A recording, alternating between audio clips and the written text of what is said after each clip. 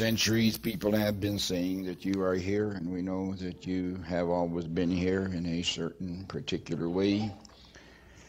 Because the Apostle Paul said, In him we live and move and have our very being, that you have made all things, and by you all things are maintained.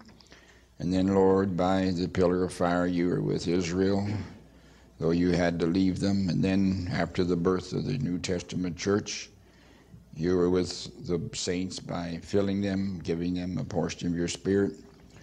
But we know at the end time there was to be and is and has been an appearing of your presence, Lord, in the pillar of fire, which we know was vindicated. And Lord, here we are at this hour, and we are not yet truly solemn and sober and believing concerning that, Lord, that all things are possible now that you are present.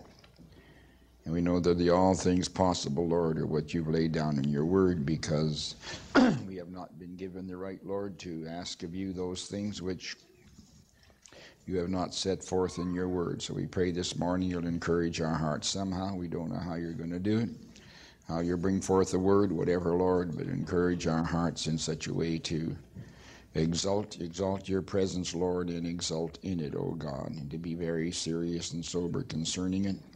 And the word of truth, Lord, that is come forth in this hour. So, Father, we just ask you now to help us bring our thoughts together and say those things, Lord. Though they be deep, may be deep and profound, we don't know. That's according to what you give us, but may they be easily understood. In all things, therefore, in the remainder of this service, we commit ourselves to you, trusting that you will help us. In Jesus' name we pray, man. You may be seated. now, we're right up to about number 22, I believe it is, in Who is this Melchizedek? And uh, just backgrounding a bit on the subject who is this particular person? Uh, Brother Branham took for his reading in the book of Hebrews, the seventh chapter, for this Melchizedek, king of Salem, priest of the Most High God, who met Abraham returning from the slaughter of the kings and blessed him to whom that's Melchizedek, Abraham gave a tenth part of all, first being by interpretation king of righteousness, after that also king of Salem, which is king of peace, without father, without mother, without descent, having neither beginning of days, neither end of life, but made like unto the Son of God, abideth a priest continually. Now we know that the uh, understanding that the theologian, the scholars have of this particular portion of Scripture is that wherein it says, without father, without mother, it means that this man did not have any genealogy that anybody could possibly trace. And then when it says, also, having neither beginning of days nor end of life, it means that they don't know when he was born and when he died.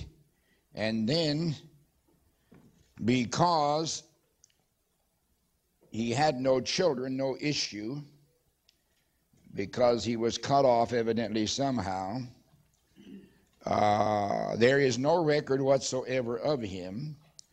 But evidently, he was some kind of a priest unto the Most High God, which is very strange because God had separated himself to Abraham and Abraham to himself, so it is not logical to believe, though the theologians are very logical thinkers according to their own thinking.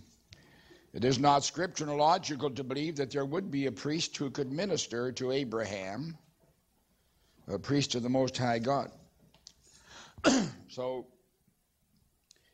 you understand what I'm saying that God recognized Abraham and Abraham alone. So, how could he have had a priest to minister to Abraham? It's ridiculous. Couldn't have. So, when you look at this person as merely a human being, without a genealogy, without issue, a once and for all priest and then they have the nerve to go to the book of Hebrews, the rest of this here, having studied Genesis, and call it a priesthood, that's more than I can figure because one priest does not constitute a priesthood. Because you're looking at a lineage and you're looking down the road. So, Brother Branham, being a vindicated prophet,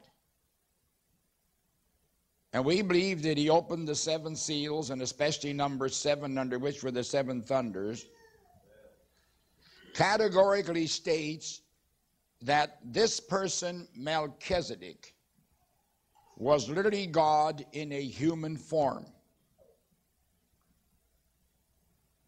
Now, this maybe stumbles people, but it isn't necessary to be stumbled on the grounds of Genesis 18, which follows Genesis 14, where Melchizedek appeared to Abraham. Now it says here in verse 18, chapter 18, verse 1 And the Lord appeared unto Abraham in the plains of Mamre, as Abraham sat in the tent door in the heat of the day. And Abraham lifted up his eyes and looked, and lo, three men stood by him. And when he saw them, he ran to meet them from the tent door and bowed himself toward the ground and said, My Lord, if now I have found favor in thy sight, pass not away, I pray thee, from thy servant, and so on. you'll find out in reading the rest of this that one of those men that, as Brother Branham said, ate the flesh of the calf and drank the milk of the cow, one of those men was actually called Elohim. And two of them were angels that went down to Sodom to deliver Lot and destroy that filthy city along with Gomorrah. For it says in the 14th verse, after Abraham and God, this person had talked together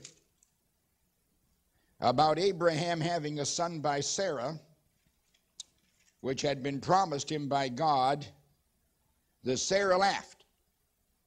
She evidently didn't really recognize God the way Abraham did, Elohim. And she laughed, and Abraham said, Why did Sarah laugh? Is anything too hard for the Lord? At the time appointed will I return. Now, what was the time appointed? When she would be changed back to a young lady and he to a young man. Because it's utterly ridiculous to think that God would have a 90 year old woman have a baby. That's the utmost of stupidity.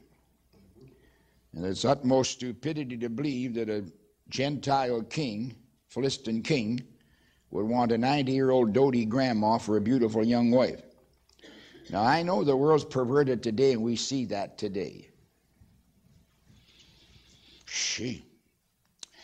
well, when you see people like Cher and the rest of them married 45 years old, shacked up with 23 year olds, I guess you figure grandma at 90 could grab an 18 year old, I guess. I don't know.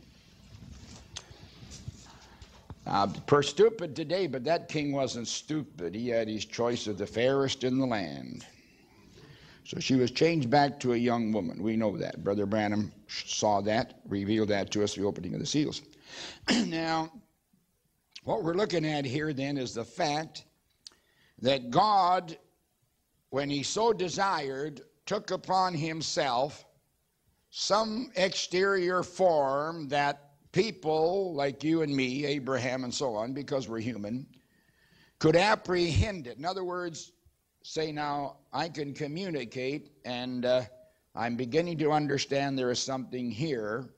Then God would begin to communicate His word to whomever He desired to communicate it. Now, you'll notice if you carefully read the scripture, in the book of Genesis, you will find that God was constantly appearing in some form to somebody. Maybe a pillar of fire, maybe a cloud, could be a whirlwind. Mostly human factor is what he used. Now, when you get to the book of Exodus, you'll find again that God is using a factor that he can communicate to man through, which in the case I'm speaking is a pillar of fire in a bush as he attracted Moses. And having attracted Moses, he sent Moses down to Egypt to deliver the children of Israel with tremendous signs and wonders, which would convince Israel and the Egyptians that God had spoken to Moses and would do through Moses what God said he would do. Now, that was the idea. But on top of that, God literally appeared in a pillar of fire with great thunderings and lightning and earthquakes from Mount Sinai. So they literally heard the voice of God and literally saw what God allowed them to see because no man can truly see God and live. It isn't necessary anyway. now, Israel was so affrighted by that that they said, All right, we don't want to see God anymore. We don't want to hear God anymore. We believe in Abraham. We believe in Isaac. We believe in Jacob. We believe in you, Moses. Why don't you go to God and say, Look, God, here's what you do if you don't mind doing it. You speak to Moses, and then he'll speak to us. And God said that's exactly the way it's going to be from now on. God speaking in a prophet and through a prophet, and Paul speaking in the book of Hebrews tells us that God was in the prophets. So therefore, God was not so much anymore in a whirlwind. God was not so much anymore in a pillar of fire, but God was basically and intrinsically in the prophet to speak to the people, he becoming God to the people, but God reserving his rights to be in a pillar of fire or a whirlwind or a cloud or a voice, whatever way he wanted to deal with the prophet, who would then in turn deal with the people. so, what I'm trying to bring to your attention here is the fact then that if Brother Branham came on the scene as a vindicated prophet with Thus saith the Lord, and here's what I don't understand about people like this Mr. Weaver writing a book on Brother Branham and writing against him and taking the word of some fellow in Germany who believed that Brother Branham was in Spiritism and defiantly told the world that Brother Branham was a mesmerizer, that he was maybe a necromancer, a witch, or God knows what, and dare to defile the name of God to this extent that William Branham used the name of the Lord Jesus Christ and God backed it up. What kind of a God is that? I wouldn't give you two bits or a needle in a haystack for a God like that. Because it shows he hasn't got any integrity. Let me tell you something. This man, Mr. I forget his name. Not try, can't remember so I won't try. But that man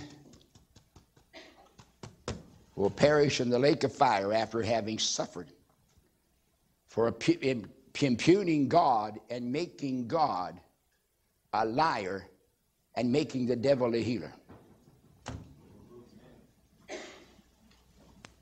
People just don't want to believe God's word. So, therefore, a vindicated man, and that is a picture taken by a photographer. He didn't even know he was taking it.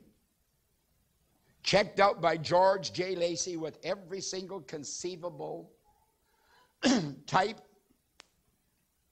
of expert analysis and said that is a picture of a supernatural being and the first one in history. Now you can do what you want about it.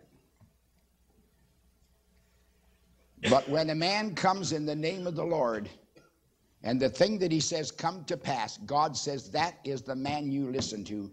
And I care for no German theologian, I care for no German period, theologian or not, or any Irishman or anybody else, or any color that comes against the word of the living God. so we're looking at a vindicated prophet who said that Melchizedek, without father, without mother, would have to have been a direct creation of God. Not simply one without a genealogy, without descent. That tells you he didn't come from anybody.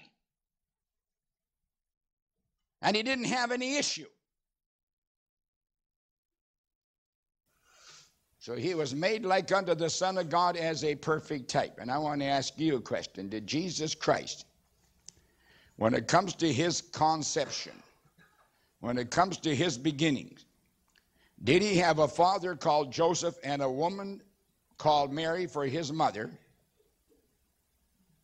Wherein jo- Joseph supplied the sperm and Mary supplied the egg and brought forth a child. Now, anybody that thinks that Mary supplied the egg is a complete fool. And anybody that thinks that Joseph supplied the sperm is even a greater fool. Because you're dealing with a virgin birth. And the virgin birth, it means without male intervention and goes further than that.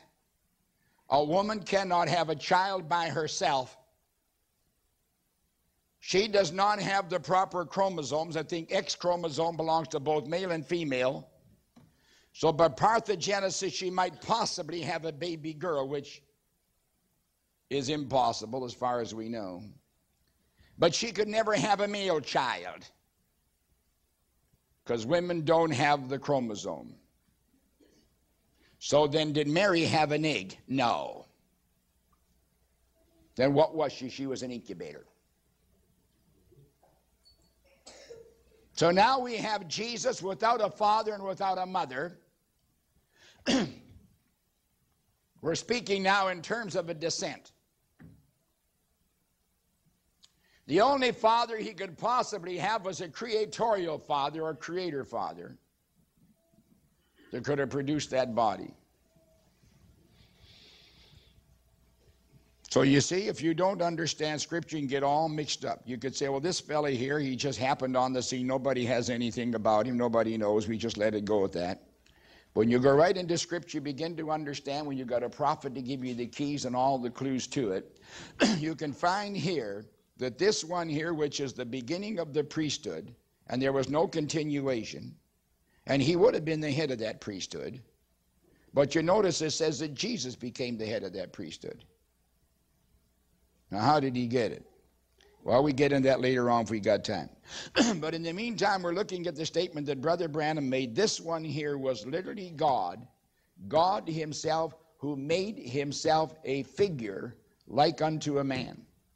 It was a human figure that stood there, and God Himself was that person. Now, you notice in plain English what we're telling you then that Melchizedek is another name for God. And the name for God at this particular point and in this revelation is King of righteousness and King of peace. And at the same time, he was a priest ministering. So we see the perfect picture of Jesus in the flesh, the created egg and sperm from the very life of Almighty God Himself, being a king of righteousness and a king of peace and ministering. Ministering from God to man. Now you notice in here that this one offered the elements of the shed blood and the broken body. and Jesus Christ will offer again the elements of the shed blood and the broken body, he himself, to us when he is King of righteousness and King of peace. Now that's what he's going to do. So you got a beautiful reality here, and you got a beautiful reality in Christ. You've got a type here, and you've got a fulfillment in Christ. what we are looking at. Now, let's try to bring some more thoughts out here. We want to go back to the book of Hebrews again, and we're going to look at chapter. uh, let's see. Let's look at chapter 11. We're going to look at verses 8 to 10. By faith, Abraham, when he was called to go out into a place which he should after receive for an inheritance, obeyed, and he went out not knowing whither he went. By faith, he sojourned in a land of promise, as in a strange country dwelling in tabernacles with Isaac and Jacob, the heirs with him of the same promise, for he looked for a city which hath foundations, whose builder and maker is God. Now, what Abraham was looking for, according to this scripture, was a city that had foundations, whose builder and maker is God. But let's go back to Rome, to I beg your pardon, Genesis, the 12th chapter.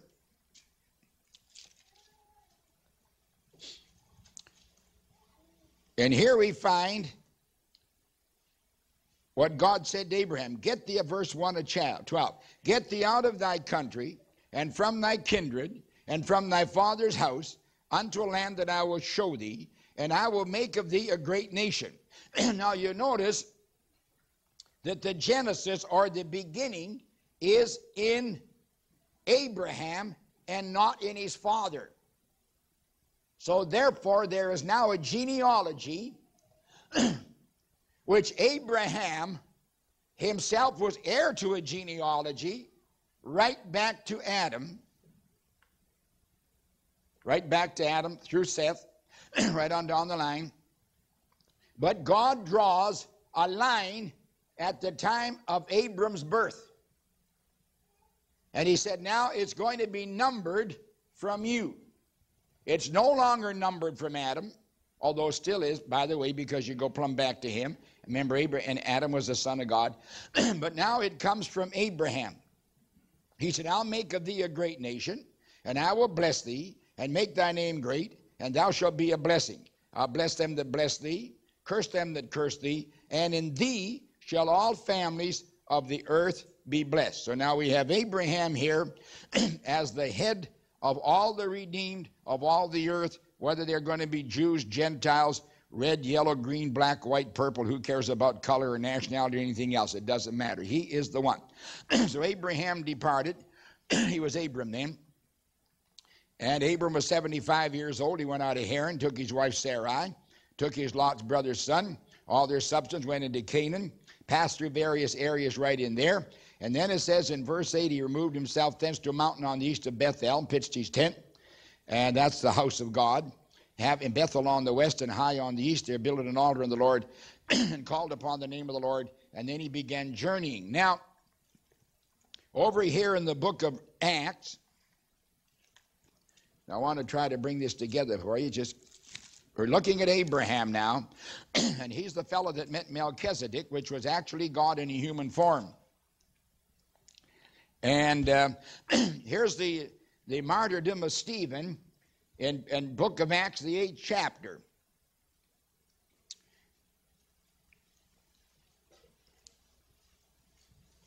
Uh, no, I want the seventh chapter, beg your pardon. and the seventh chapter uh, he is speaking of uh, Abraham and Moses and the, the very genealogy of Israel. and it says here in the eighth verse, and he gave him the covenant circumcision. And so Abraham begat Isaac and circumcised the eight days, and right on down and down and down. and he tells you of, of Abraham. Now watch, if the fifth verse is the, is the verse I was really looking for or you can take number four if you want. Abraham dwelt in the land of the Chaldeans. He, went out of the land of the Chaldeans, dwelt in the land of Haran, and he stayed there until his father died. Then he went elsewhere into Canaan. And notice now in verse 5 And God gave him none inheritance in it, no, not so much as to set his foot on, though he set his foot on it. Yet he promised that he would give it to him for a possession and to his seed after him, when as yet he had no child. And God spake on this wise that, that this seed should sojourn in a strange land and so on. now, you'll notice that this is the book of Acts. We looked at the book of Genesis. We came to the book of Hebrews, and we found that Abraham was looking for a city which hath foundation, whose builder and maker is God, and he was heir to a land, though he walked on it, he did not have the title to it and he could not claim it. So, in his peregrinations, that's his wanderings around, he was looking for a place to settle. a place that had foundations, a place from which he wouldn't be moving any longer, a place positively whose builder and maker was God. Now, what city is it that hath foundations whose builder and maker is God? New Jerusalem. That's chapter 21 of the book of Revelation. now, why I'm saying all this is to bring you back to the seventh chapter of this king. Now, this Melchizedek, king of Salem, Salem, priest, that's peace, priest of the Most High God, a priest king, met Abraham returning from the slaughter of the kings. now, this is the perfect type of the Lord Jesus Christ. See? God dwelling in flesh. God dwelling in a human being. And that's what we're looking at. Is God, as Brother Branham said, with the skin on it. It's not badger skins anymore. It's not goat skins of the tabernacle. It's a human skin. Just like God was in the prophets. Now, God was in this man. Now, he is a king. now, let's look at the word king. To be a king, you've got to have some type of a kingdom or you're not a king. See, you've got to have a kingdom. you've got to have that which pertains to a kingdom. So, therefore, as we look at this particular person here, he must have had a retinue. He must have had a city. he must have had something to match with his title, which was King of Salem, King of Righteousness, Priest of the Most High God. Because look, how are you going to be a priest to God if there isn't something there that concerns a priesthood? Now you've got two kinds of priests. You've got a priest of God and from God that ministers to the people. then you've got a priest of the people that ministers to God. In both cases, you've got God and people and somebody between. All right. Right here, then, you have got to settle, as Brother Branham put it, you have got to find then somebody that he's ministering from and somebody ministering to, which we see right here. God took upon himself a form whereby he was ministering to Abraham, and you will notice that he ministered the, the bread and the wine, which is symbolic of the crushed body, the broken body of the Lord Jesus Christ, the shed life and the shed blood. now, that's exactly what Jesus Christ did. He absolutely ministered to man. God ministering to man in the form of a man. Aaron, in a man, which was a man, ministered for men unto God. He offered the blood. so that Jesus Christ fulfilled both of those roles. Now, at the time I'm speaking of, because I was looking down the road a couple thousand years, whatever it is, we are looking at a, at a king who must have had a kingdom upon earth. Now, this puts God, in my understanding, from what Brother Branham taught, into a very, very peculiar light because people do not want to believe that God would do a thing like that. Now, listen to me. What's wrong with our thinking is that we do not think like God, and God does not think like us, and He does exactly what He wants to do when He wants to do it. How in the world could you have anybody born with the Holy Ghost from his mother's womb? Yet John the Baptist was. How in the world could you have a condition like this? And yet there was. Now, if you're going to accept this, that this was a king, you are not going to get any historian, you will not get anybody to ever tell you that there is a king without a kingdom. Never has been, never will be. Because the king is the fellow that makes the kingdom, not the kingdom make the fellow. Now, if you don't understand that, then you tell me who created God. God, the great creator, is a king by virtue of the fact that he has a kingdom. Jesus is king by virtue of the fact that he has a kingdom. So, therefore, by virtue of the fact there cannot be a kingdom of any description without a king. There's no way.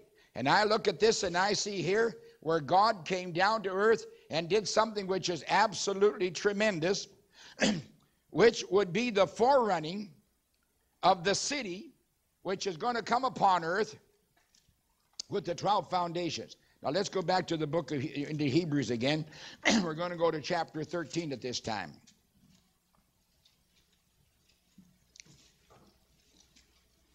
Now let's read a little bit, starting with, with verse 11. It's not going to make too much sense, but it will make sense. For the bodies of those beasts whose blood is brought into the sanctuary by the high priest for sin are burned without the camp. now it tells you right there there is a sacrifice made by the bodies of beasts for the sins of the people. The blood is taken and spilled upon an altar. The bodies are taken outside and burnt. That's one of the types of the sacrifices. Now watch, verse 12. Wherefore Jesus also, that he might sanctify the people with, with his own blood, suffered without the gate. They took him and hung him on, they hung him on a cross outside of Jerusalem on Calvary's hill, a place called Golgotha. now watch. Let us go forth therefore unto him without the camp. Go outside of the camp. Go on out, bearing his reproach. Now notice, for here we have no continuing city, but we seek one to come. Now what are you looking at? I don't care where you look. When you're looking at Jesus, you're looking at a city. That's right. when you look at Melchizedek, who does not appear again until he appears in Jesus, which is God in the human form, where God literally comes down and inhabits a body. Not a body like this one he lived in back in the days of Abraham, but a body wherein he deliberately, by the life of God, be moved out. And out of that moving out from the cells of the Spirit, they're formed around that the material of it, which was spirit, formed an egg and a sperm, implanted in the womb of Mary that brought forth that child. Now it says here, you have no city, but you go on out to him and you got a city. And that's exactly what Abraham did. He moved out to get a city. We move out to get a city. Now I'm trying to show you something here that's important.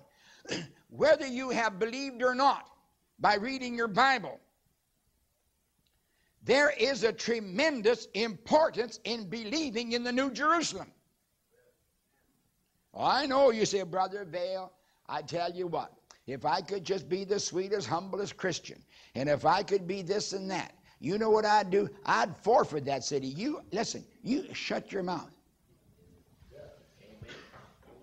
You are so stupid as to be sickening, and I'm right with you. How can you say, contrary to the Word of God, the shed blood of Jesus Christ that purchased all this.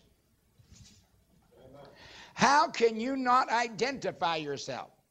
Let me read some more scripture here to show you what happened back in Genesis is real. That God did have a city, He did have a king, He did have a priest that ministered from Him to us. And it doesn't change. Now I'm going to tell you something. People are so heavenly minded, they're no earthly good.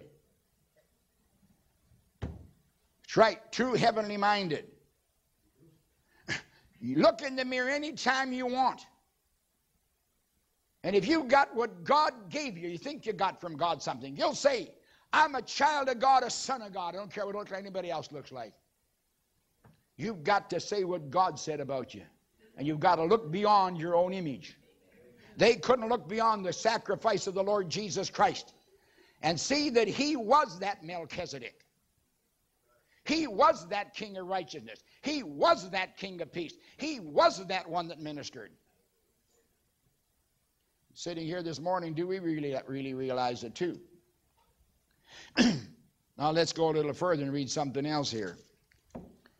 In the 12th chapter of the book of Hebrews, Paul is speaking of suffering with Christ, and I'm going to go into that for another whole message, which I don't have time right at this point. I've left it for down the road. and he warns us that there isn't one single solitary son that isn't corrected by the Father, whether you're physical son born in the flesh or whether you're spiritual son born of God. Now, listen, what is the first thing that correction depends upon? Correction depends upon a rule that was not adhered to because it wasn't known and broken consequently and wasn't known. There can be no correction until, first of all, there is a standard. If there's no standard, there's no correction. I've said hundreds of times, I suppose I've said it hundreds of times, even to you people here, that if there's no answer, there's no problem. See? There's no problem. There can't be. Simply, you think it over. There is. There can't be. It's impossible. Another thing is there's never anything lost. It's only misplaced.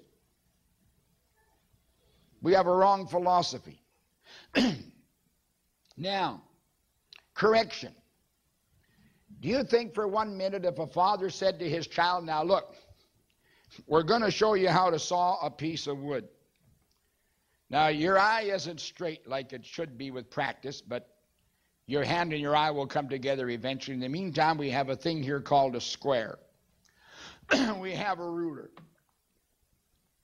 Now, the best thing to do before we cut is to see that the end of the 2 by 4 is perfectly square, or it's not going to work. So now we put the square at the end of the 2 before we can see there's maybe 15 degrees out. This is what 15 degrees is. We mark it. Fortunately, we've got a saw here. We don't even have to use our eye on it. We just put it against the square because the square already, and we pull the straw, we pull the saw through. you got a radial saw, you pull it through. Say, now the end is square. Now, here's what you do. You be sure that this 2 by 4 is plumb up against this square here, this buttress here. Because if it's off, the saw is going to hit it. You could get cut. The board, the 2 by 4 come up and knock your head off. And if by luck it doesn't do any of those things, it's going to be crooked. Because you got to follow the rules. Now, the kid's kind of a smarty pants, so he doesn't follow the rules and he gets knocked on the head with the two before. And the dad said, Well, that's bad enough. I won't have to correct you because I think you done got corrected. Well, the boy said, and he said, Now, son, look, all these marks down here, this signifies zero number of inches. This is 1, 2, 3, 4, 5, 6, 7, 8, 9, 10, 11, 12. That's one foot. It goes into 20 inches, 2 foot 36, and up here it's an 8 foot length. now, however you want to cut that, all you got to do is put that 2 by 4 right there, and you hold it right there because the saw hasn't touched it. By the time you get where the saw is, you simply put your finger there and press it, run the saw through, you got a perfect cut. And the kid's kind of cockeyed because he's too fast. He goes down here and he puts it one inch short.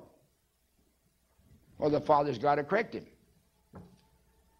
I'm trying to bring out something to show you here. There's no such thing as correction unless there's something there in the first place. And the correcting of any child of God is to know the revealed word of God and to act, first of all, to believe it and then to act upon. Now, if that kid had really believed his dad, he'd have been very meticulous. Now, in fact, he'd have been so close, he'd have wiggled the thing back and forth. Dad say, now look, son, don't get nervous. It isn't all that hard. Just take it easy and just push it right up there. Now, if a kid's real smart, by the time his dad's through teaching him, now this is just woodwork, he will have picked up a lot of things on his own. Now, you can't do that, the Word of God. You can't take from, you can't add to it. I want to show you something here. See, we're looking at a correction.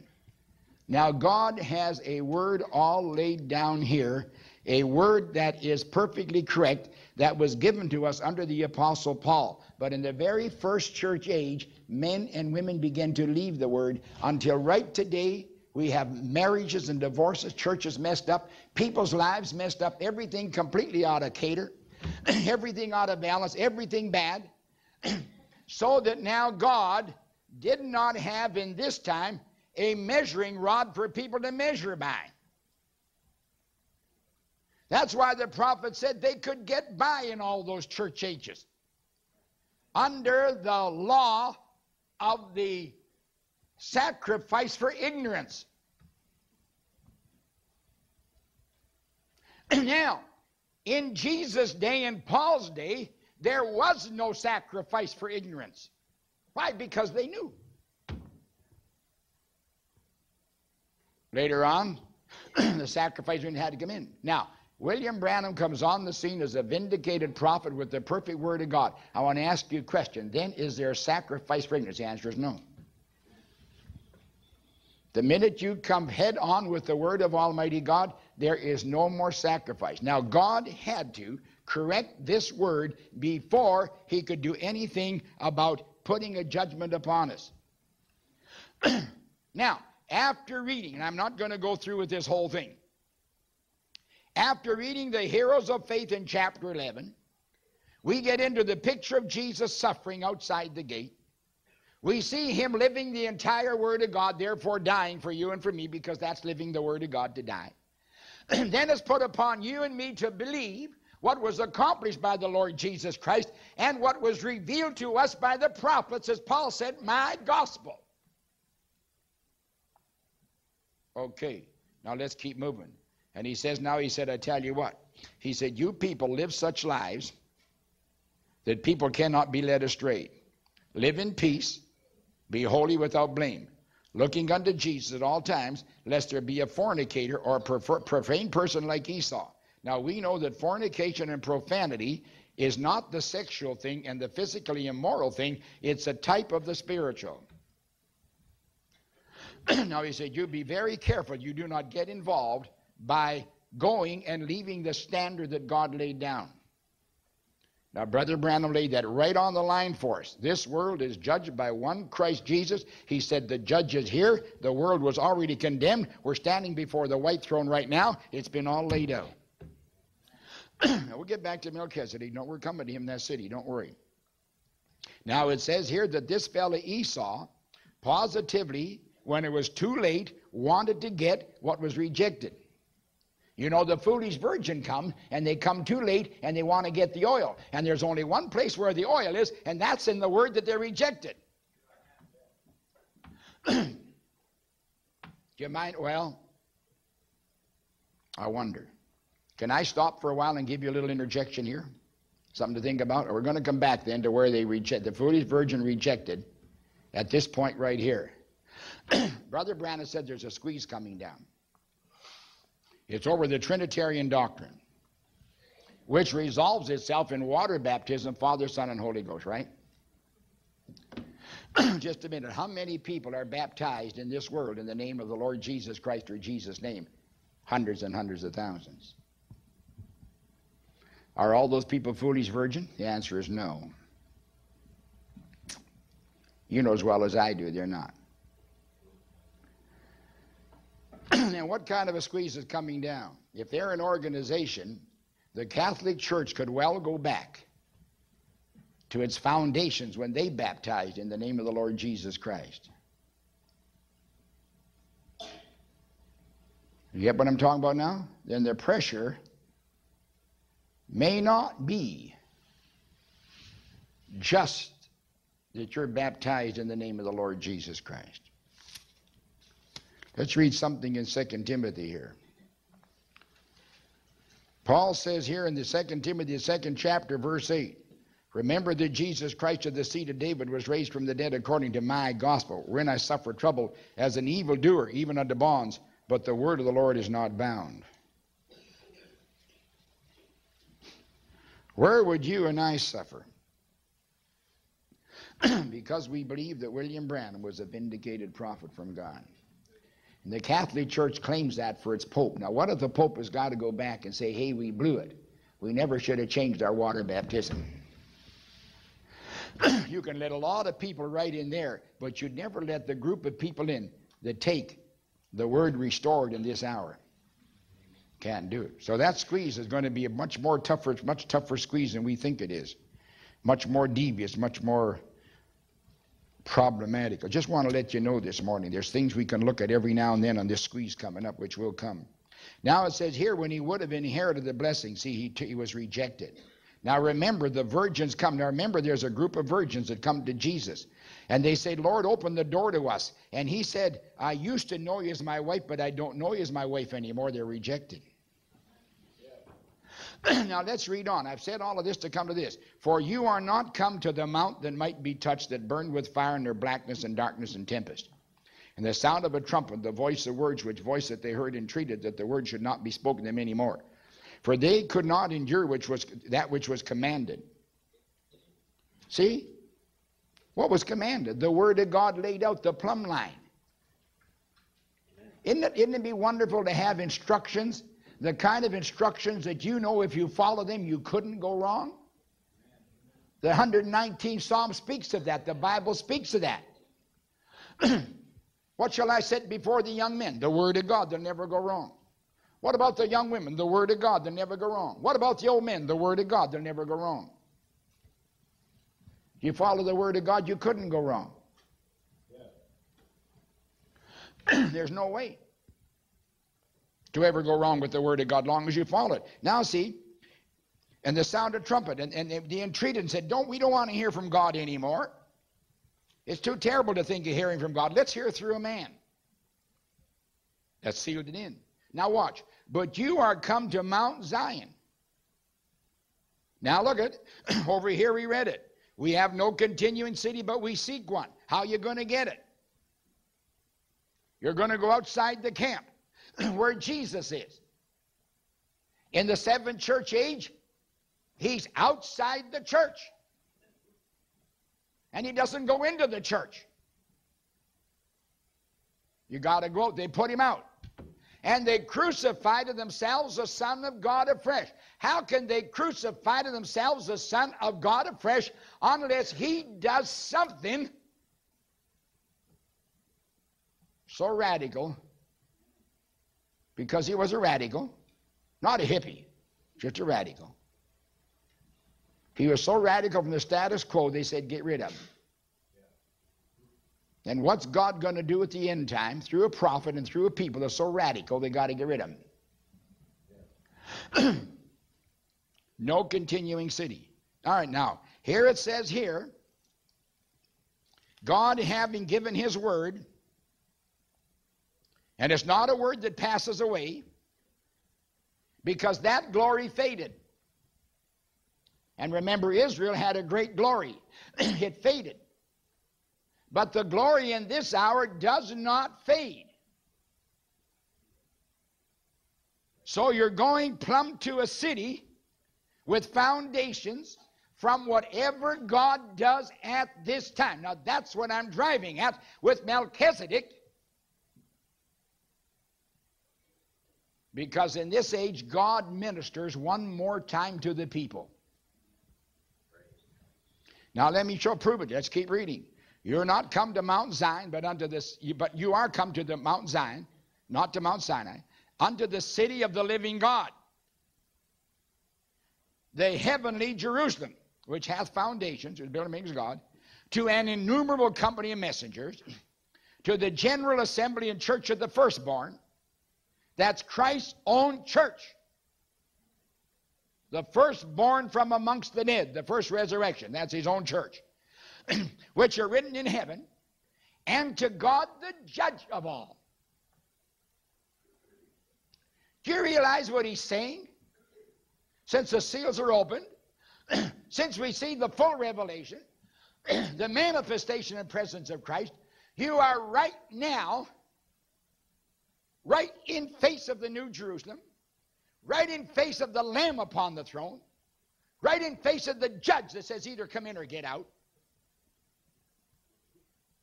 Look at people, I'm not leading you to bleach something 10,000 years down the road. I'm trying to get you to see right now, and you know it.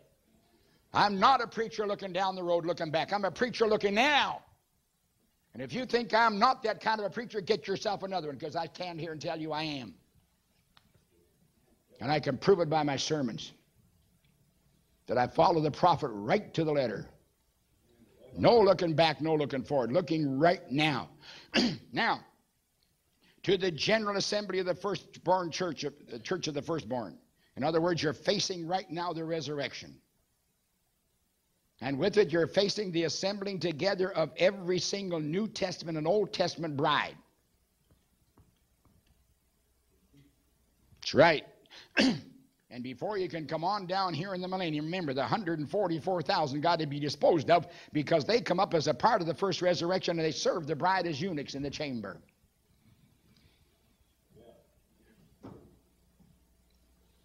For not just 1,000 years, but millions of years.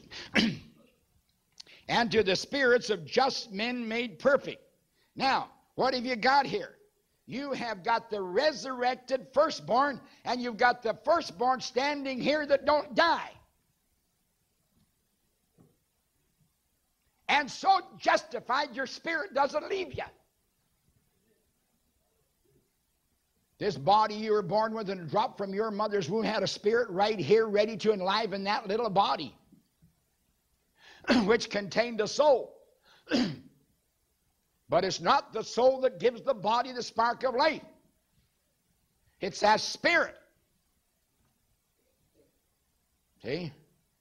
Now, when you die, that spirit leaves first and goes wherever God wants to put it because it was allowed of God and came from God, but is not the Spirit of God. The book of Ecclesiastes, the Spirit goes back to God who gave it. Jesus said, Into thy hands I commend my spirit, but his soul went down into Hades. The body went a third place. He split three ways. Now I'm telling you right here, it tells you here, and to the spirits of just men made perfect. come to a complete conclusion of child training that God gets everything out of you that He wants to get out of you. Having put everything in you that He wants to put in you. Now, here's where you're standing. As Brother Branham said, I wish I had it with me and I could read it to you right now. If this uh, spoken, uh, spoken words original seed. And he said there's a super, super, super race approaching unto Christ right now, the headstone. And the headstone is here in the form of the Holy Spirit. and perfection has come because we have the perfect revealed word of God. And it's not do this and don't do that, the other thing. It tells you the word of God. What does that perfect what does that perfect word tell you? Let me read it you over here in the book of Ephesians in case you got your own ideas. This will tell you what the message is. If you want to know what the message is. Brother, you say, Brother Branham, what is your message? I'll tell you what his message is right here. Paul speaking to the church. We cease not to give thanks and making mention of my prayers. Verse 17 first chapter of Ephesians, that the God of our Lord Jesus Christ, the Father glory, may give unto you the spirit of wisdom and revelation in the knowledge of him. And it tells you right there, there is an absolute revelation of God himself in this hour. one of that one of those revelations under the seventh seal is concerning Melchizedek. And people go along and say, "Well, this fellow Branham, boy, did he lay a hard-boiled egg? Stupid, stupid, stupid." That shows you what those guys are that get gifts from God and can't handle. They get high-minded and heady. Now, if they were theologians like us, you a bunch of dirty dogs. Why should I talk about a dog? It's worse than dogs. Oh yeah, full of their rotten criticism. Sure, Brother Branham made a great mistake as he opened the seals and brought up this junk about Melchizedek. If you understand what I understand this morning, you'll see something to it that theologian will never see. I'm striving for reality I know that hangs there, and the more I talk about it, the more I'm going to get it. I was a school teacher for a little while. Any school teacher knows the first law of pedagogy is repetition. I don't care who you are. If you're not a good repeater, you never make a good teacher. You don't repeat the same thing like an old saw going ding, ding, ding or something, but you repeat it many different ways, this way, that way. you teach a thing 14 different ways, 15, 20 times if you have to, but you get it across. Brother Branham told the truth what it was here. now here it is the revelation of Him, the eyes your understanding being enlightened, that you may know what is the hope of His calling. Do you realize that means it's going to put you back before eternity, before a beginning? That's going to begin to probe the depths of God. You show me a theologian do it. They can't even tell you what this means. I read all the books. Every time I go to Bible store, I tell you, I pick up the first I pick up and see what's he got to say about Ephesians 1 17, 18. Some will tell you it's a baptism with the Holy Ghost. Some got enough brains to know to tell you, well, the Spirit will reveal something. Now, you, you know what we should do is get all those books, and if those theologians are living, phone them and write them and say, now tell me, kind sir, who's it going to reveal it to? Well, I hate to, you know, act proud, but, you know. Could be just me. Who's going to believe him? See? The eyes you understand, you may know what his hope is calling, what the riches of the glory of his inheritance in the saints. what the riches of the glory of his inheritance in the saints. See, what are those things there? Now notice when you get that far, and only when you get that far, and until you get that far, to the absolute revelation, you will never get to the next step, which is the resurrection. And the third step is the rapture. you won't get it. Now, let's keep reading. The judge of all, the judge, the, and to the spirits of just men made perfect. All right? Now remember, you're looking at the judge. You're looking at Matthew chapter 25, the ten virgin, the five wise, and the five foolish. And the cry went out, Behold, the bridegroom come out to meet him. they all went out. Now, five had oil in their containers. Now, what is the container of the Holy Ghost? The Word. so, therefore, the Word was wrong in five, and it was right in the other five. Because God will not put the Holy Ghost upon a word that is not properly revealed. Now, you know that as well as I do. Let's prove it. Back in the days of Moses, there was a man, he went out on, on the Sabbath, he picked up a bunch of sticks to fry his dinner. they said, Well, now, Moses, there's something in the, the, your word that you brought us about this man here. According to the word that you brought us, no man is supposed to work on a, on a, on a Sabbath. and this man was working on a Sabbath. So they put him in quarantine. After the quarantine, during the quarantine, Moses went before God and he said, Lord, what about this man? And God said, Stone him with stones and he die. He defiled the camp. So they took him out and killed him. Capital punishment. They all had a hand in it because they all threw stones. Now you say that's pretty tough. That is pretty tough. I'm trying to draw you a picture here. That man did not have the revelation of the word. Yeah, only one man didn't have it. The rest of them did have it. How that one man missed out and everybody else had it is more than I know. That's wonderful. You'd think there would have been a bunch of them. We thank God there's only one.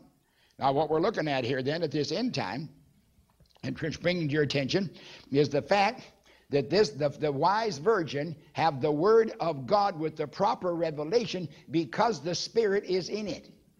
The Spirit of God is not in a triune baptism. The Spirit of God is not in a Trinitarian God. The Spirit of God is not in an organization. The Spirit of God is in only one place, and that is that word which hath been which is properly revealed. And the wise virgins had it. now, after they consorted with him, and the and the and the, the tryst had taken place, the great marriage supper was about to be entered into. The other five came too late. Sure. They died what actually happened. They'll come up with the second resurrection. See, they're virgins. They're not out there as a non-virgin, not their serpent seed, they're virgins. They come up, but they come up too late. They are never in the wedding supper, and they're never part of the bride. And their glory is outside, and they can only bring it to the gates. Let's keep reading here now, because this is we're at. And to Jesus, you're coming right to Jesus now. Now he's you're, you're coming right to the to the to the first begotten of the dead, Christ is the head, and here he is down here. To Jesus, the mediator of the new covenant, and to the blood of sprinkling that speaketh better things than that of Abel. In other words, what you're looking at right now is the plumb full effects of the blood. And the plumb and full effects of the blood is not simply to be make you a Christian, to make you a better person, to make you a loving individual, but is to make you believe the Word of God and identify with it according to revelation, not your own mind. so a lot of people that come along and say, well, you know, bless God, I just be a fine Christian I, and, and just really show the glory of God. I've done this myself and been very stupid. I'll be honest with you. Lord, if I could glorify your name. Now you might even think Brother Branham said that. But you better be careful what you think he said. Because he had to say what Paul said. Okay? And you could say, well, Lord God, if I could just be pleasing to you, I would gladly forfeit my life. Apostle Paul didn't say that. He said, I could give my life if possible for my brethren's sake. He didn't say I'd be cast into hell for him. That'd be stupid. The Apostle Paul said, If there be no resurrection, and in this life only we have hope in Christ, we are of all men most miserable. You know why there's a bunch of stupid, miserable Christians? For that very reason. They will not identify with what God said. I'm asking this morning, can you identify with Melchizedek, king of peace and king of righteousness? God himself in the form of either a man or something would be a man. Extending to a people his own mercy and grace and ministering to people. For the Son of Man came not to be ministered unto, but to minister to. So if the days of the Son of Man have appeared on earth again, then God is ministering to his people. oh, you get the latter rainers. They think they know this, but they don't. Pentecost missing a million miles because they think they're going to be some form of Melchizedek priesthood, some big faulty raw. You, you, you want to be a real Melchizedek, start doing things for people. start getting up in the morning thinking not what you want done for you, but what you'd like to do for somebody else. Start thinking like Paul the Apostle said concerning those that work. You don't work just because the boss is around, you work when he's not around. you don't take his time testifying on the job, you spend your own time on some other time testifying. You give dollar per dollar. I don't care what the world does, brother, sister. We're Christians. And you pick up the cross and you suffer. you identify yourself with the one that was rejected. I'm identified with William Branham by the grace of Almighty God because they sure hate him. Now they're really pulling him to pieces. Well, let him do it. That's fine by me. If they do it to us, we'll just have the strength to take it. Don't worry. Now listen. It says right at this time, confronting the whole panorama that God laid out from eternity to eternity, he said, Now look, see that you refuse not him that speaketh. When did Jesus Christ, or when did God, I don't care how you put it, when did God ever close his mouth and say, My lips are sealed, I will talk no more? Where do you find it? It puts him in the present tense, it puts him in continuity of him that speaketh. For if they escaped not who refused him to speak on earth, much more shall we not escape if we turn away from him, not that speaketh, but the one from heaven. I want to ask you a question. According to the book of Revelation, what happened in Revelation 10 and 1? A mighty messenger, not angel, a messenger came down with a rainbow over his head. And there's only one got the rainbow, and that's God, the one seated on the throne. The one in Revelation 5 became the one in Revelation 10 and 1. Now it says he comes down. It says back there when he was in the form of Jesus Christ, whose voice then shook the earth. It did. It shook it upon Mount Sinai. It brought a great earthquake around the world when Jesus gave up the ghost and cried to God. A great earthquake came. Now, but it promised, saying, Yet once more I shake not the earth only, but heaven also. And this word, which means when he speaks this final time, yet once more signifies the removing of those things that are shaken as of things that are made. now, I'm going to tell you something right there. I think Brother Branham put that into the hands of man, man made doctrine, but I'm going to go a little further. I'm going to put it right into the hands of God that made everything around here. And I tell you, everything is going to get shaken down. Every human being, every building, all the soil, everything. Going to get shaken plumb down and dissolved. And the only ones that miss it and only things that miss it are the ones standing right in this present hour before Melchizedek. Amen. The priest, God ministering. Before the judge. Judge always comes with Son of Man. Before the very presence of the holy city. Right at the white throne. I don't understand people how they can talk and how they can say things when they realize you're right in the presence of God and the white throne. You know something? This generation here doesn't have to have its words brought up like other generations, thousands of years back. They take their words right with them, and you and I do too. It's a good thing we got Christ on our side, brother, sister. Yet once more, the things which cannot be shaken remain. That's right. The only hope, my brother, sister, is what? That which has the ability to listen to the word alone remains unshaken. How much word do you listen to? How much are you interested in? How much do you talk word? I'm a, fine one to ask, answer these questions, to ask them. We all stand naked before God today. But remember, Malachi does not fail. There was a people that talked often one to another, and the Lord heard them. And they weren't talking to God, they were talking to each other. And they must have been talking about something that pleased God. Because he said, These are my jewels. And those were the only people understood righteousness from wickedness. and those who served God and those who didn't. They were the wise virgins. See? Standing right here, not shaken down. Spirits justify. That tricky spirit that plays in your mind through your body would deceive your soul and deceive your very ways. Brother Branham, I'll tell you how to get the victory over that fella. You just plug every channel of your mind with this word. He said, You mean to tell? I don't mean to tell you nothing It's been vindicated. The message of the prophet is the only thing you can plug your mind with, and I can plug my mind with and get anywhere.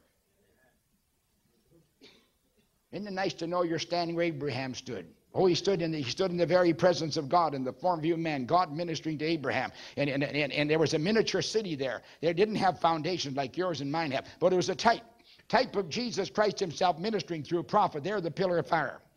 Standing right there, the days of the Son of Man back on earth. God's word ministering to a people that said, Hey, I'm going to tell you something. Everything gets shaken down but you.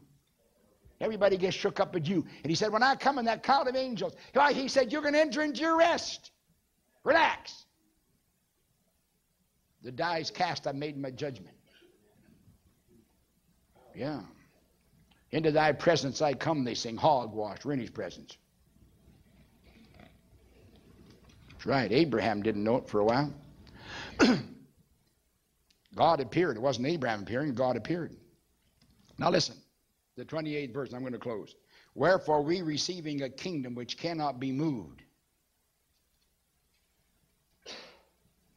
Are you ready to receive a kingdom? You've always, always wanted one. Some people want to be king so they can lord it over somebody. I'm with Brother Branham. What kind of a spirit's in people that want to take over anybody?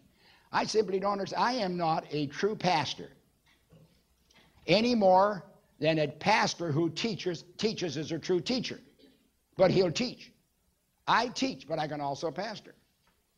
But I'm not a pastor like a real pastor is, any more than he's a teacher like I'm a teacher. He can't do it. He doesn't can't handle the scripture. It's a gift. It doesn't come by my mind. It comes absolutely by gift.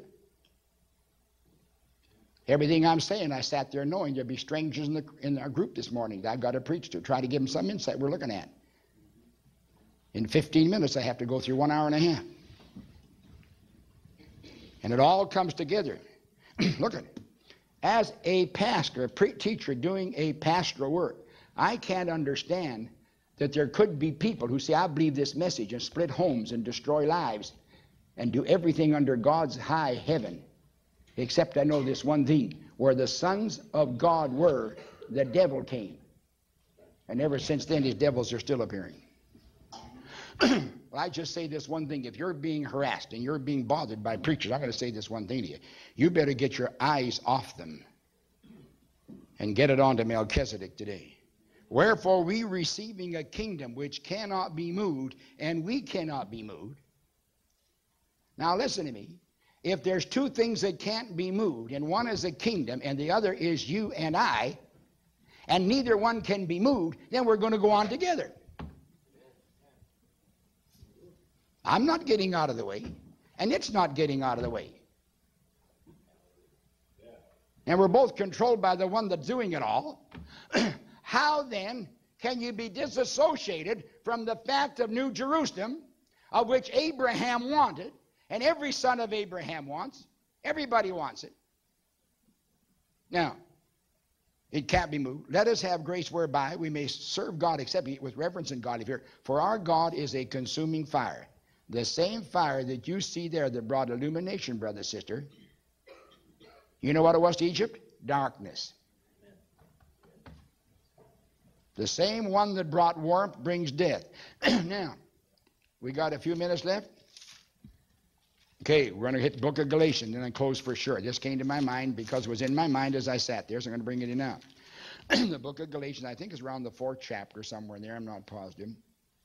Yes, the fourth chapter. Now, verse, verse 19. My little children, of whom I travail in birth again till Christ be formed in you, I desire to be present with you now and to change my voice, for I stand in doubt of you. Now, this church here loved the Apostle Paul till they said, We'll give you our very eyes, a shirt off of our back. Whatever you say, Paul goes. Some smart guy came right around behind Paul, turned the whole bunch around. I wonder if I could put a smart guy in this pulpit and see where you people end up at. I'm not being mean to you, I'm just wondering. I've seen him do it. Get a smooth talker. Oh, such love just drips like honeycomb.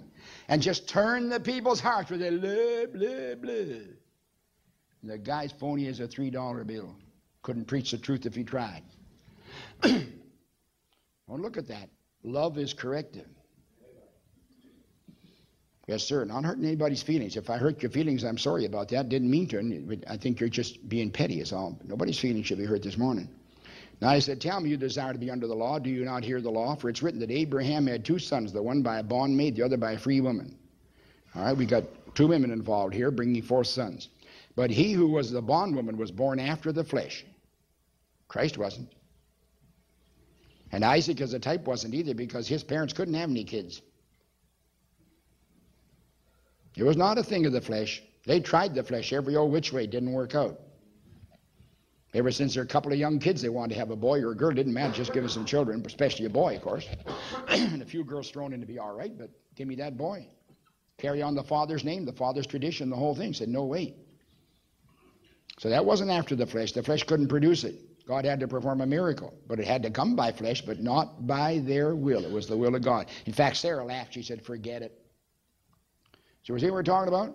he had two sons, one by a bondman. One, one was born after the flesh, one by promise. That's right, absolutely by promise. Which thing are an allegory, for these are the two covenants. The one from Mount Sinai, which gendereth the bondage which is Agar. Now, in other words, Moses spoke, Paul spoke of this in, Rome, in, in Hebrews. You are not come, he said, to Mount Sinai, where the bondage is. you are come to New Jerusalem, where the freedom is. Now, just a minute now. You say just a minute now. The point is, I am, I am God's free man. I'm not in bondage. Oh, yes, you are. You're in bondage to Christ the Word. But that makes you free from everything else. Now, if you want to fool around with some other ideas and think you can make this message with it, I got news for you. You're just kidding yourself. You wait and see. I'm not telling you a lie. You're, I'm telling you the truth. You're going to see very shortly because time can't go on the way it's going on with these AIDS and all. Did you get the last Reader's Digest and read the poor little boy, the little Mormon boy that got AIDS because of blood transfusions? A hemophiliac. And some of you might think you can fool around in adultery. Sure as you're alive, you'll end up dead with the rest of them.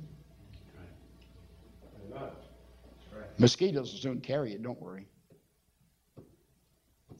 You only got one hope. There's only one hope. 10,000 fall at the right hand, shall not come nigh thee. The Lord God is your refuge. How are you going to have the Lord God refuge and to turn the word down? How are you going to turn down him to speak it, the one that came down?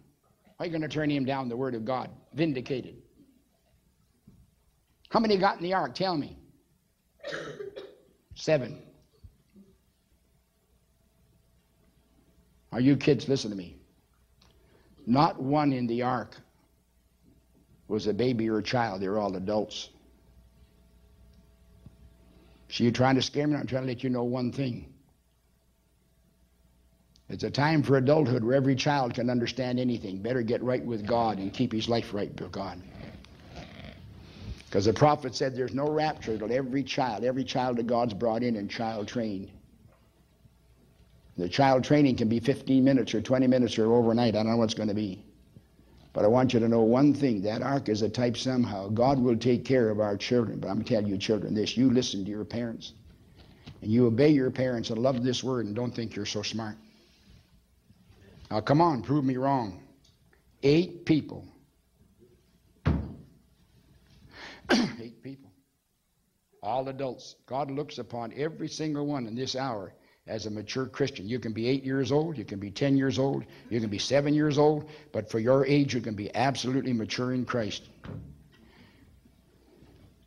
Because you've taken a perfect message, a perfect word of God. And you listen. Your parents won't lead you astray. They're not in the business. You better you'll be an adult before God. He's not speaking to kids in this late hour, little tiny children. Sure he is, because you're just chronologically, you're 6, 7, 8, 9, 10, 11, 12, 13, 14, 15, 16 years of age maybe. but you've got a message which is an adult message. That's why there's no Sunday school and all that claptrap and balderdash and garbage. Amen. You sit right here with your parents. You listen. You be good kids. I love you. You're good kids. I know you are. I'm more proud of these kids than anything I'm proud of in this life. Now, there's an allegory here about these two kids that were born. Two covenants, one from Mount Sinai, which is bondage, which is human government, man's government. It's where God made a priesthood, finally, where he had men to intervene for men and serve God through men. But New Jerusalem has its own priesthood where God himself serves mankind. That's right. It's New Jerusalem, Jesus on the throne, and before we call, God's answer. Rivers flowing, fruit growing. God in his kingdom, everything is right. Jerusalem, which is above, is free, and that's our mother. Our lineage, our life, our all in all, is from Almighty God. For it's written, Rejoice thou, barren that bearest not, break forth and cry thou that travailest not. For the desolate hath many more children than she hath a husband. But we, brethren, as Isaac, are, are, the children of promise. In other words, there's, there's millions out there that don't belong to God. There's millions out there that are going to miss the holy city. You know why? They're not looking for it. They're looking for a wrong rapture. They're looking for a wrong condition of rapture. They're looking for everything wrong. They're looking for great this and great that. They're not identifying with the word of the hour. Listen, my brother, sister. I don't care how much we say we identify with Jesus Christ, with the Lord of glory, and all these things. If we don't identify with the word of the hour, where are we? For many years, people have tried to identify with this word of this hour. They haven't been able to. The Seventh Adventist, I was just a tiny little kid, four years old or five. About what was I? Well, four, four years old. I remember it well. they, they, spent this, they said the very night that, that, that Christ was going to come, and they were all going to go. They went up to the top of hills. Whether I don't know, but the next morning the sun came up. They were all there. They tried to make Dowie Elijah. He said, "I am." He wasn't. But does that mean there won't be a real Elijah? There won't be a real appearing? There won't be a real rapture? Certainly there will be. now, we're not saying, hey, join this church. You couldn't join this church if you tried. There's no church here to join. I'm not interested. And thank God you're not. You shouldn't be. If you are, you, you, you're not knowing what I'm preaching in the morning. This is where people say, look, what is this about God anyway? I'm trying to tell you since the first time in 2,000 years, since the time of the Apostle Paul, we have had a complete repeat of Scripture in a miniature form, literally from the book of Genesis right to the present hour, where the book of Revelation is open in complete view. The thunders under the seals have come forth, and the Word of God has identified a people. And we're identified now in the very presence of God. The judge, white throne, New Jerusalem, resurrection, you name it, the identification is here. For all have, has devolved upon us. Can't you see, brother, sister, that's perfection, that means conclusion? You don't identify with anything less anymore. Now, look, we're going to close, but please understand what I'm saying. Until you and I receive this word and close every channel in our minds and our souls and bring in obedience to the word of God our spirits, we never will know the, the reality of the revelation which we have received from the prophet. And it is this constant receiving of the word and the constant application to our minds, because it's by the renewing of the mind the transfiguration comes. The great battle, the battle I mentioned of the eagle last Wednesday, what I brought up. this is what we're looking at. And I stand has been for the last eight years amongst you. If the Word of God doesn't do it, it's not going to be done. I cannot discipline myself and make it happen. I cannot discipline you and make it happen. See? the discipline lies in one channel only, which I must Feed that inner man by the word of God, and so must you. And that is what's going to bring forth the transfiguration, the life within the Word. That's what the foolish virgin did not have. They never had the Holy Ghost in the Word, they had a wrong Word. We have a true vindicated Word. The Holy Ghost must fill that Word and respond to it. And if that Word of God is in our minds, it'll be in our hearts.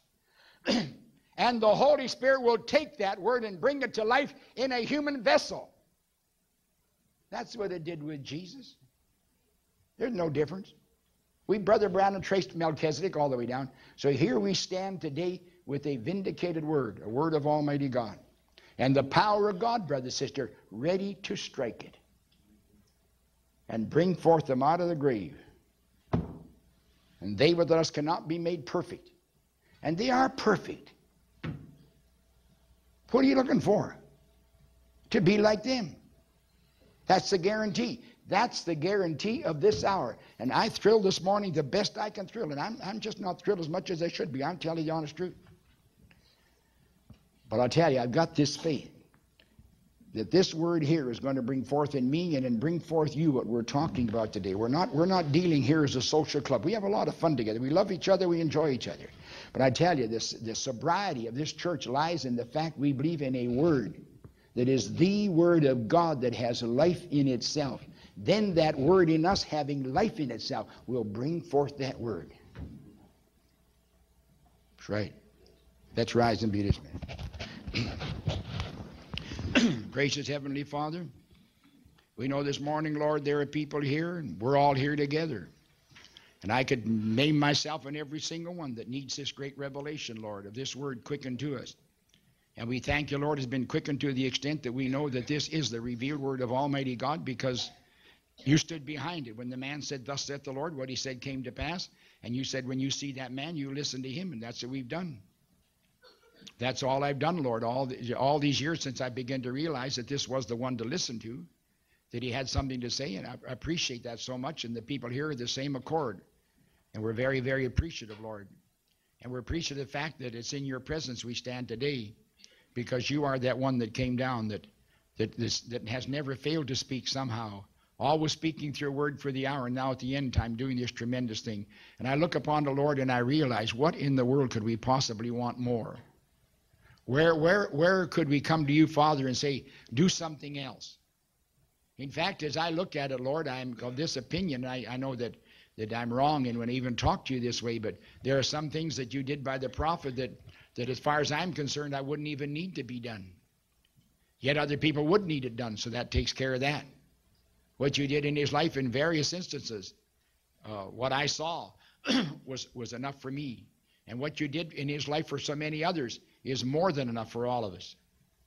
Just the witness of a sincere person who has any credibility at all would be enough to say, Yes, I saw that done, I know it done for everybody in town to rejoice. A little woman could go with one word that she he had discerned her spirit, looked into her soul and her heart, and she said, "Come and see a man that told me everything he did," and the whole city turned out. That was enough. So Lord, here we are this morning in this very condition here. You you've more than done everything we need. We couldn't possibly come to you and say, "Now, Lord, do this." Because we need this done. It's the same, Lord, with healing. It's the same with everything. What what what could we come, Lord, after a vindicated message? How could we possibly desire anything other than to say, Lord, be it unto me according to your word? I believe it. The message for healing, the message for every deliverance, the message for every type of uh, complex, whatever that is. I don't know. We all got them, Lord. Some crazy thing that we let bug us is what it amounts to.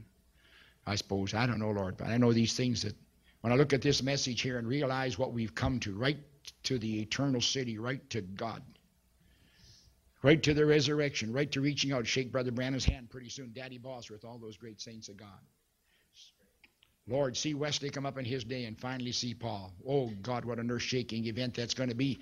And realize that we're the ones that are going to see it because we see what, what you bought upon Calvary for. See everything that you was planned in you before the foundation of the earth, and now we've got a glimpse of it. Father, I pray there won't be one person here this morning turns it down. Not one. We know that them coming to any altar, which we don't have anyway, is not the answer. We know the answer is, Lord, to receive you without putting one speck of faith in one step or one raising of one hand or anything at all. But in the heart, looking to you now for a changed life. To get out of here when that trumpet sounds. Taken up to wedding supper. To be ministered to by God Himself. Right to the holy city and through eternity. What a tremendous thing to see, Lord and to realize what you've done in this hour. Bless each one in divine presence. I pray, go with us, O God. Heal the sick amongst us, Lord. Help us to pray more for one another and be very, very concerned, Lord. Very, very concerned, Lord. We by now we believe the baby's been brought forth from from Mary Allison, Lord. We pray, Lord, there's something wrong with that baby. That by your hand right now you touch that child, oh God, and reverse every process. Give the doctor what he needs if he needs something, Lord. If something has to come from you, Lord, we can see that too. You know what I've seen, Father, in my own ministry. Uh, there's nothing po- impossible, Lord.